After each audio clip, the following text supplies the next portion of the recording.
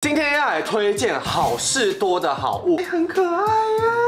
它其实算是一个，我觉得单人加大的感觉，它算是比较偏那种商务感一点的，然后又有一点可以休闲的感觉。我之前已经介绍过一次，我记得我们好像一起吃过，它是我的挚爱啊，已经说不出话了，它真的太好吃了，真的是英雄都要落泪了，而且它这样子好够味哦，太刷嘴了吧！气炸锅可以做到这个程度，我觉得有点小惊艳呢，而且因为它外面是硬壳的，它有点那种沙咕沙咕的感觉。Hello，大家好，我是开汤。刚刚呢，我去好事多买了六千多块钱的东西。没错，身为一个物价战士，好事多一直呢都是我想要攻略的地方。毕竟好事多里面有非常非常多的好物。今天要来推荐好事多的好物。说到我们的物价战士，当然要有请我们的小资女代表小张张。因为小张没有参与我们采购的部分，今天有一些是好事多的新品，还有一些我觉得很厉害的隐藏好物。那今天呢，你要来帮我评断一下好不好？我超级期待，因为我完全不知道要买什么。今天的东西呢，除了吃的以外，还有喝的，然后还有用的东西。好期待，好期待！你等一下帮我们大家评论一下，本集没有夜配，所以如果难吃就说难吃，不值得买就说不值得买，OK？我可以的。那我们就准备开始。第一个，我跟你讲，我这次挖到一个我觉得很赞的东西。第一个呢，就是这个东西，它是呢好事多卖的这个盖毯，材质呢是这种，就是蛮亲肤的那一种材质。它是魔鬼毡呢，你要自己再收纳回去，其实也是可以。它这个呢，总共有三个花色。我们好像什么购物台专家。现在马上打下面专线，不好意思被打爆了。哎，很可爱呀。它其实算是一个，我觉得单人加大的感觉。如果两个人这样冬天盖起来也 OK 哎。它的材质很舒服。你猜这条多少钱？你觉得多少钱你会买？一零九九。不用。九九九。不用。不可能。真的。七九九。不用。这个的话是五百二十九块。扯哎！你们现在直播带货在那边作假就对了。来上链接上车。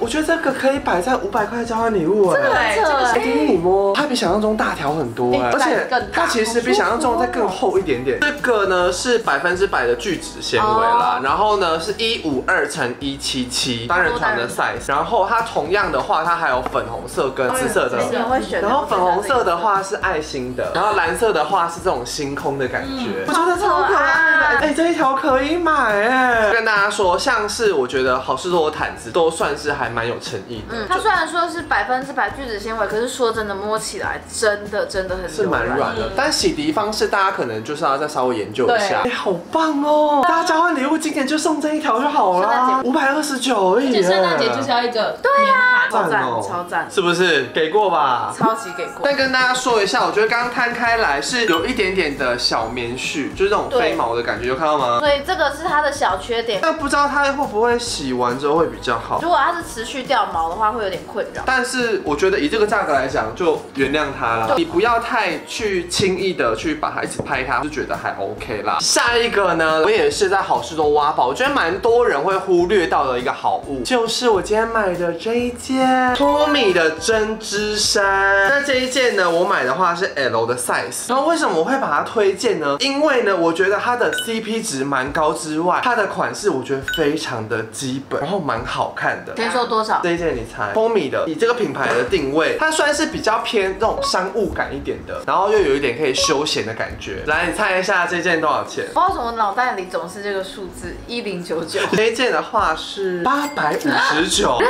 真？真的，一千块以内。那可以耶。是我对品牌没有任何想法，但是当你要送一个一千块以内的礼物，然后这个有品牌，它又是很基本款，不会说在那种促销里面看到很奇怪的。对，或是很大铺嘛，或是 Tommy 英文字母很大之类，它就是一个很简单小小的 logo，小低调的感觉。对，其实是不是 Tommy？是 Tommy。有不同吗？Tommy 跟 Tommy。然后我跟大家说，为什么我觉得推荐这个呢？是因为我觉得它除了这个颜色之外，还有灰色，我当时候看也觉得很好看。然后八百五十九，我觉得可以当做现在冬冬天来了，男生上班族别穿衬衫。对，小张现在这样子，然后这样给他露一点这个白色领小子这样子尖领在外面，然后再加上这个 L 号，我觉得我穿起来是偏宽松，因为你会考虑到里面可以再穿个东西，我其实觉得女生也可以买 L 号，它就是有点盖到屁股，盖屁感。有这个感吗？哎、我觉得还蛮好看的，因为呢，其实它的这个针织算是比较那种细的针织，所以说像台湾其实有时候冬天不会到太冷，这种针织就 OK 了。我其实觉得它是算秋天针织，它是一个很薄的针织。我觉得很好看，而且这种海军蓝不挑肤色，谁穿谁显白。没错，你今天是要带货是不是？八百五十九，上不上车？弟弟你觉得怎么样？我觉得很好看，而且我觉得，其实大家每次去逛好事多，大部分会直接略过衣服那一趴，因为衣服很多都会觉得啊，算了，就是长辈在买。可是因为你知道，好事多的衣服其实也算是偏冷门的小东西，所以我这次看到，我想说可以介绍给大家，而且八百五十九，我觉得很适合送男友但脑啊。袋里面有一些不太好的想法，就是你可以骗不知道的人说，那你看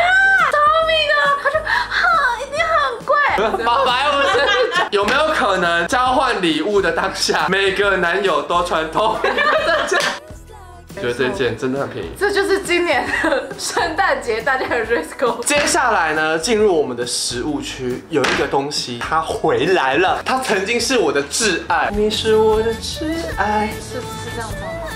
你们记得每年好事多冬天一定要去吃这个东西，就是他们的麻油鸡饭。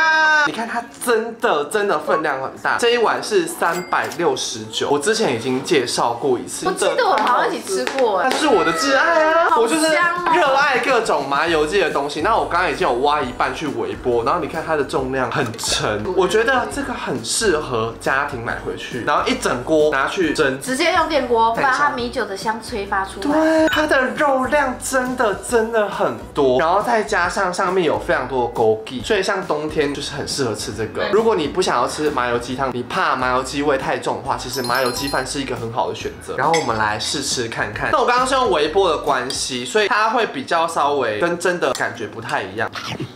它是那种有点糯米感的那种饭，它不是米糕，它也不是油饭，它是真的很像糯米，但是蒸到熟烂了之后糊在一起，所以很难吃到分明的饭粒。我觉得用蒸的吃起来口感应该会更不一样，微波感觉好像会比较黏一点。它有点像某种粽子，软烂结在一起的糯米块。我觉得它的麻油味比去年还要淡嘞。我觉得今年的枸杞味更重。今年比较偏有一点那种药材的感觉更重一点，然后麻油味反而比较没有那么重。主要我觉得它麻油的量就是没有那么多。所以我觉得可能是它有依照口味去调整，但我觉得还是有一点满足那种冬天吃麻油鸡饭的。虽然没有说到很重我，因为我可能就是很爱那种酒香要很重的。它麻油味淡，可是酒味是几乎没有。所以你如果是爱酒味的人，你会觉得完全烧不到两处。就是如果你是爱麻油，或是只想吃一个冬日进补的感觉，就可以买我。觉得它很重我的是它的饭，因为我很喜欢吃粽子类型的饭，非常的黏，非常的糯，很好吃。我觉得以价格来讲的话，还是觉得 OK。如果说是情侣啊，或是两个人这样在家里，其实你可以吃个两三天，而且它就是一个料理好的东西，嗯所以其实很方便食用啦。而且我觉得它的酒味其实留在鸡肉上蛮多的，所以吃鸡肉的时候可以比较感受到酒味，肉腥味不重。我觉得肉有一点干，不知道是不是我们可能微波关系，我觉得它没有想象中那么嫩嫩的感对。，好事多其实很少出饭类的东西，再加上这一款，它有算是综合掉不要那么重的那种口味，然后可能小朋友也可以吃，它就是淡淡的，可是你可以一直很耐吃下去，还是推荐。我觉得每年我都会买来吃，还是我的挚爱。接下来呢，要来介绍下一个东西，就是麻辣鸭血。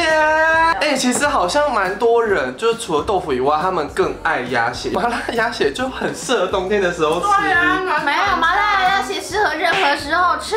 这个也是我们今天逛街的时候看到，就觉得 感觉很不错哎，然后就决定买了。英雄类麻辣鸭血，可能是说英雄吃了都会落泪。这个的话是三百四十九元一箱，然后这一箱里面就是有三份。那它一份的话呢，是有一个这个麻辣鸭血的这个料理包，还有再加上一包干面，然后还有再加上它有两个秘制的这个辣粉跟一个油油这样子，所以这样子是算一份，然后总共有三份。那我觉得它很赞赞的是，因为它的这个汤其实算蛮蛮多的它的调理方式呢，就是你加入这一包之后，再加两百 c 的水，然后再加上两包它的秘制辣粉进去，然后让它煮。那你如果自己要再加，比如说鱼蛋啊，或是一些青菜啊、金针菇都 OK 的。而且我必须说，三百四十九真的太便宜了。自己去看外面那个丹麦麻辣鸭血豆腐，有时候它就一份这样子，要一百多块。那我们刚刚已经煮好了，在这边。好香而且我跟你讲，我觉得是爱吃辣的朋友应该会喜欢。但我刚刚面是因为等待的关系，所以它有点干掉。你看它的鸭血不小块哎，应该有个四五块左右啊蛮。多的哎，台南的朋友们买它，一吃进去就说哇，好甜，是甜的麻辣鸭血，然后咬一咬之后，慢慢的会尝到那个麻辣感，但它的麻就是香气麻。哎，我觉得它的辣是来自于汤哎，鸭血本身没有什么辣味，它的汤很浓，而且它是有一点渣渣感的那种汤。麻辣鸭血不会吸附太多汤的辣跟麻在上面，怕辣就不要喝汤我。觉得它的鸭血其实也算是蛮嫩的，很难想象它是调理包做出来的鸭血。而且我觉得它的味道确实不是台式麻辣。有点川味感的，忘记加那个花椒油下去啦。然后它就是起锅前你可以加花椒油进去，让我们来搅拌搅拌它。它的面是那种比较有点手工劲道的，刀削面。我刚刚吃了一口面，最辣的是面，因为我的面是直接煮进去里面让它入味，就我觉得加花椒油好像没有太大的差别，就变得有一点香油感，可是没有到特别说变辣或什么之类的。它里面的面量还有这么多。我已经说不出话了，它真的太好吃了。真的是英雄都要落泪了。那我觉得这个就是一般台湾人的饮食习惯，重口味的鸭血。你知道我很不喜欢有一些麻辣鸭血，它只有油跟辣，它就没有那个香。它的汤底是有底蕴的。哎、这个可以买哎。接下来呢，下一个也是好事多的新品，川味香辣拌鸡。然后这一份的话呢是三百六十五块，它应该就是那种凉拌椒麻鸡吧？你干嘛、我刚刚整个回忆涌上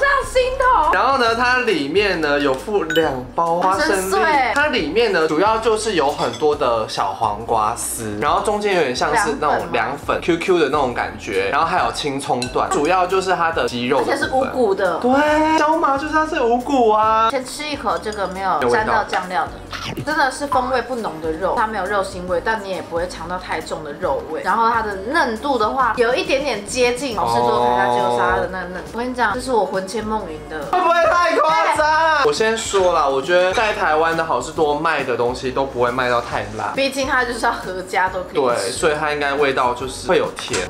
啊好香！椒麻鸡应该就要这样吧，就是要这样子啊。会豆地哦，你们两个。娘娘给我一份椒麻鸡。好的，因为这样子它才会真的很入味。哎呦，我的天呐！来来来，试看看，好吃。它是甜的椒麻鸡耶。好事多，你是不是有台南血统？其实很好吃啊，太晚猪了啦，而且它这样子好够味哦，太刷嘴了吧？刚好是有一点那种甜甜辣辣的感觉，鸡肉完全没有任何的骨头。而且真的偏嫩。一定要这样恰恰的。如果你买回去，你想要在那边，哎、不好意思，这样子。这样子搅拌 No 然后你要像我刚刚这样子直接摇，你看它会摇到没有一块肉是不上色的，还有它的那个白芝麻其实很香，很香口感很好而。且我觉得它其实小黄瓜给的蛮多的，吃起来真的很清但是我要说，我一开始吃第一口没有什么辣，然后现在我吃第二碗，我现在舌头跟舌尖都开始麻麻的，嗯然后辣味也出来。我建议大家摇完之后，可以让它静置一下，让它味道再更入味我。必须说，今天选的真的都太好吃。对，这样子我觉得拌鞋底也都好吃，一百分。接下来呢，来到下一个重头戏了，也是食物，而且也是我们忽略的东西，就是呢，这个呢是冷冻油炸鱿鱼，它是一个韩国的品牌，然后它主要呢就是冷冻的鲜炸鱿鱼。那这一份的话呢是四百三十九，然后是放在冷冻区。重点是跟大家说，因为我本人呢超级爱吃炸鱿鱼，然后我想说，那既然都去好吃多，我就来看一看他们这个冷冻的油炸鱿鱼。它的鱿鱼呢是直接帮你做好这种长条的感觉，是蛮大条的，然后里面其实还蛮多条的。我刚刚呢是用气炸锅的方式，好脆，但它其实蛮重口味的，它面衣味道蛮重，蛮咸的。海味好重哦，很有一种在吃炒鱿鱼还是什么之类的。跟我想象的落差有点大，我甚至觉得比前面那两个还要重口味。这个里面其实长得很像章鱼烧会出现的那一种感觉，这包可以稍微先下车一下。它有点太咸，不会让我想要一口接一口。虽然说面衣的口感是好吃的，可是太咸，加上跟鱿鱼会分离。它没有整个裹在一起不。要捏上我。其 是因为我刚刚打开来看的时候，我有点吓到，它里面是长这样子，很像是那种地瓜天妇罗那种感觉。我原本期待它炸完之后会口感好很多，但是实际上吃完反而这一包，我觉得我可能会不知道要吃多久。没有办法当做零嘴吃，偏失望。OK，下车。下一个东西呢，我觉得是所有聚会的朋友一定缺少不了的，就是我们的酒精。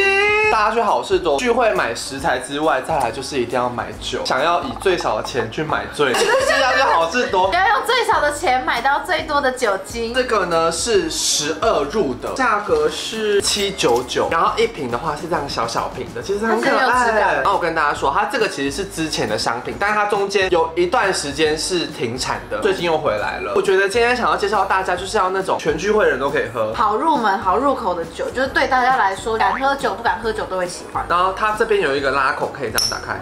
哦哦，小也有仪式感的。其实就一杯差不多就快完了。Cheers，我懂了。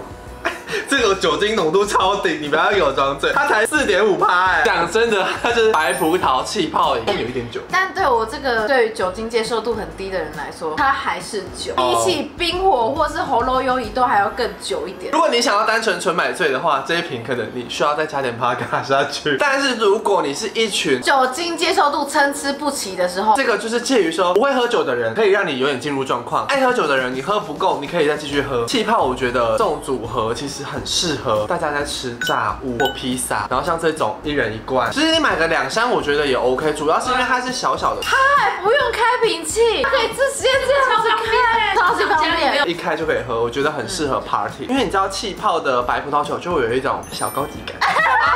你喝四点五趴，你也可以喝台啤啊，可是就是你知道粗俗一点，比较 local 一点。当今天就像我们一样崇洋媚外的时候，你就可以选择 Bernini。推荐。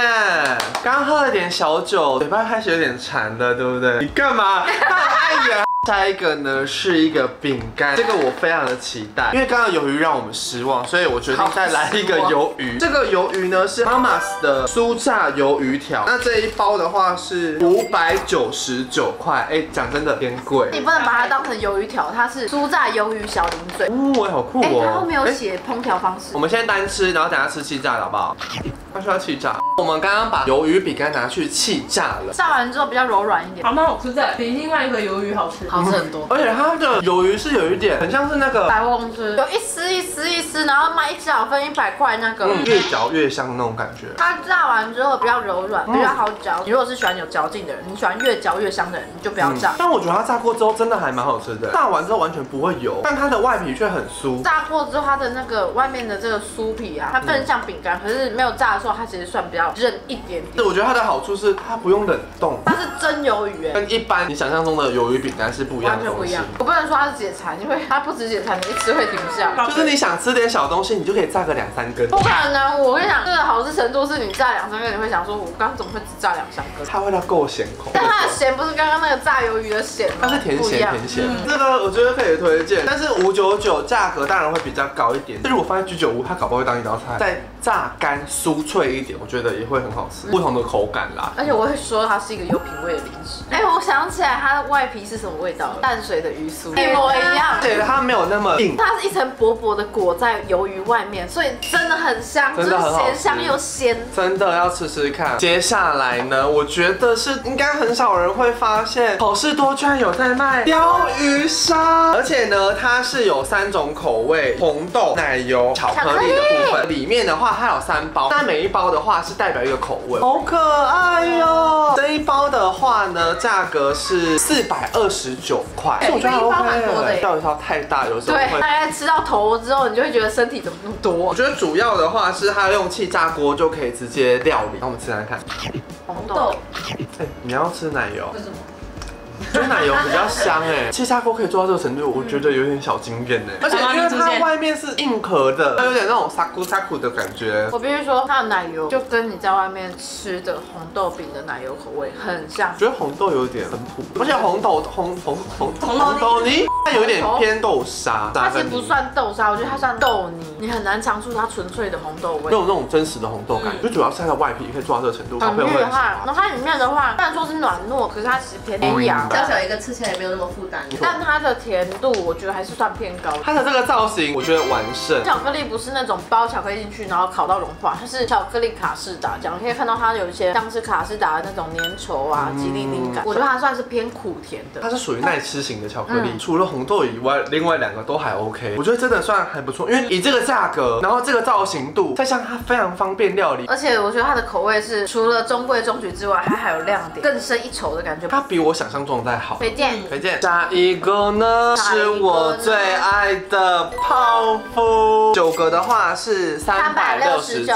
元，一个四十一块钱，还 OK。这一种是菠萝奶油泡芙，有人是跟我说它可以拿去回烤，或是说你可以冷冻直接吃，那我们就冷冻的吃看看。我真的最近超级无敌爱吃泡芙，这泡芙算蛮容易翻车的，容易翻车的点是有一些泡芙很薄，然后那个皮很烂，吃起来超像冰淇淋泡芙的，它中间的奶油冷冻之后吃起来超像冰淇淋的，很像那种香草口味的冰淇淋这样，好吃。我觉得冷冻之后很好吃，我们冷冻大概两个小时左右吧。但我必须说，就真的是东西冷冻之后甜度你的感受会降低，大部分的甜味来源来自于它外皮，尝不到里面卡士达奶油的真正的味道。但它的奶油卡士达是很过关的。那我们来实际看看原味的好了。对我来说，它是七十五分的泡芙，它冰过之后应该可以到个八十到八十五分。如果它在烤过更酥脆的话，可以九十。分。它里面的那蛋奶酱、那卡士达酱，那种上面会铺焦糖的布雷融化之后，我喜欢没有冰过，因为冰过我觉得它的那个蛋奶香跟它的甜味会降低，剩下菠萝皮的甜。如果你不想让它中间融化那么严重的话，你就可以冰起来之后再拿去烤。这个内馅真的很好吃，你要四十块在一般面包店买到那种内馅不可能。主要是我觉得有一个小缺点是它很容易掉屑屑，因为它是菠萝的造型。菠萝的精华是是这个厚厚的边。我觉得它的泡芙很有诚意，手掌心大。我说真的，它的酱真的是绝对不会失望，有超越这个价值啦，大家可以吃。好的，各位，那我们今天呢，终于吃完我们好事多的开箱啦。那我觉得今天的食物比例算比较多。那今天呢，这样下来选三个推荐给大家。第一个就是泡芙，我真的太爱它内馅，而且我真的被太多假泡芙气到。你如果爱泡芙、爱布雷，然后爱卡士达、爱蛋奶馅的人，一定要买。好事多这个就是便宜。好吃，然后还有好多种吃法，我怎么会不选它？还有嘞，成为香辣拌鸡让我梦回成都，而且我喜欢甜又喜欢辣，喜欢一点点麻，然后说真的就是现在也没有到非常冷，忽热忽冷的，所以我觉得吃这个还是让我觉得很快乐。还有嘞，麻辣鸭血，我懂，鸭血嫩甜，卤的入味，汤头好喝又不会过辣，又不会太麻。我觉得鸭血也算是我的三个之中的一个，因为我真的很喜欢跟人家要汤，我每次去买卤味都说不好意思，阿姨那个汤。可以再给我多一点，觉得那个辣香感很重，它就是一个小锅底，三百多块，你其实去外面买就是一个锅底的钱，所以你那个钱你还不如分三份，一百多块你可以让它变成五百块的价值，那一个很赞。再来呢，我觉得毛毯五百三十块，我觉得对于现在大家在犹豫交换礼物的人来讲，会非常的有帮助。它有一个缺点就是它的毛屑很多，反正交换礼物送给别人。以我来讲，我觉得它很舒服，然后五百三十块真的很便宜，太便宜。它的颜色跟那个视觉感，我觉得就是很可爱。然后其实你摆着拍照也蛮可爱的，然后送给小朋友，我觉得也 OK，但是不要过敏的小朋友。第三个，第三个好难哦。第三个给丁丁选。我的话，我会选鲷鱼烧，因为我很爱鲷鱼烧，但是平常吃一大个真的会很腻。但这个小小的真的太棒了，而且一口其实就可以。对，再加上它一袋，然后很多很小个。今天可能比较饿，我想要吃五个，因为我只是嘴盘，我就想要吃两个东西这样 OK。而且冬天吃这个一个，然后配个热茶，哎，也很赞。因为其实它价格来讲，虽然四百多块，一开始觉得比较贵，可是其实打开还是有很多小东西，所以会觉得哎，CP 值也蛮高的。Oh my god，我们今天很会选，踩雷就那。一两个，就一个，就是鱿鱼而已。如果其他好吃的大牌子，欢迎跟大家分享。然后我们今天呢，我觉得我们的物价战士又是美好的一天，今天非常惊喜，因为我今天没有参与到挑选的过程，所以他们今天拿上来什么都是对我来说是全新体验。结果每一个都让我觉得太选了。好啦，那以上呢就是我们今天好事多看一下。如果你们大家有跟着我们两个物价战士去好事多吃什么东西，或是买什么的话，建议大家一定要标记我们两个 IG，让我们看一下。或是你们大家有什么在好事多。必买的东西，或是我们没有推荐到的，欢迎在下面推荐给我们哦。那以上就是这一片，欢迎点击订阅、按赞、分享，最终不要忘记追踪我们的小江哦。那我们就下集见喽，拜拜。后面入境吗？有，有他的头。欢迎你可不可以先去旁边一下？